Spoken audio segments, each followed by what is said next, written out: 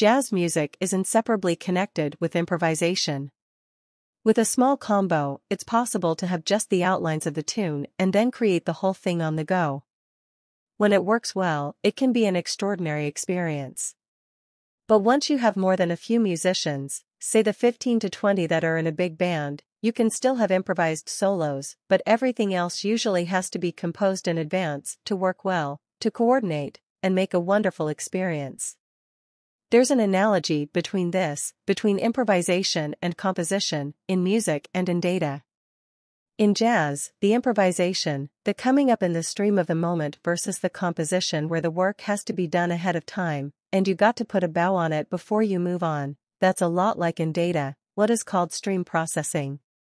Where you're processing the data as it comes in, live, in real time, versus batch processing where you take data that's been wrapped up and put a bow on it, it's in a data set, it's set and you run with it.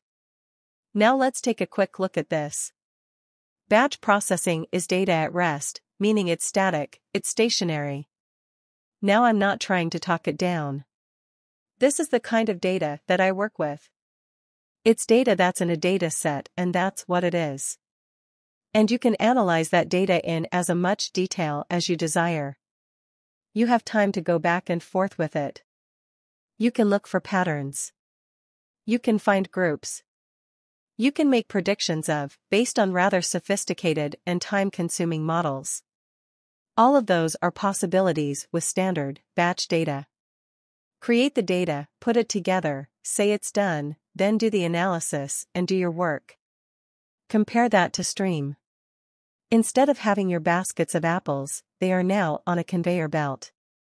The data is constantly arriving. You may not even keep the old data. Maybe you just have a window of data that you're saving. Because maybe you're just looking for changes over a short period of time. Or you're looking for significant anomalies that might, for instance, trigger a problem with the system. A potential breakdown with the machine and attempt at fraud, as something that triggers the next actions that result from your analysis.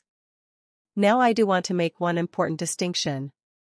Everybody likes to have an organization that operates efficiently and responds well to changing situations. That's one reason why agile development and management are so popular. And so there may be an automatic preference for a data approach that seems speedy and responsive and maybe agile too. But the thing to remember is that stream processing isn't better, it's not a new and improved version of batch processing. It's a different process. Streaming data and streaming analysis often relies on a different infrastructure.